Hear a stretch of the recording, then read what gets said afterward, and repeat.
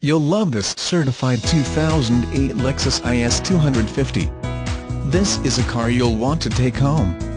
With 23,352 miles, it features automatic transmission and an exterior color of smoky granite mica.